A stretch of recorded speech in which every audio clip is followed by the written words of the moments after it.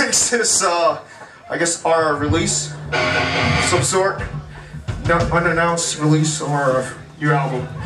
We got albums, we got t-shirts, we have free stickers, and he gives free hugs. And crack. We're gonna keep shit moving. This next song is called Dead Pull. It's off that fucking CD over there.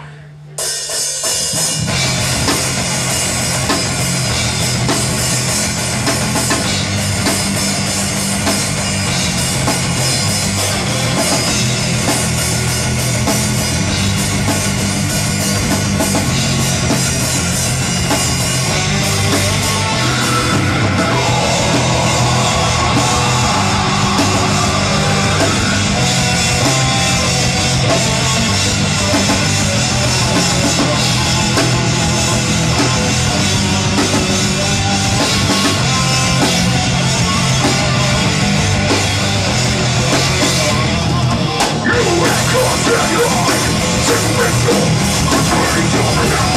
me go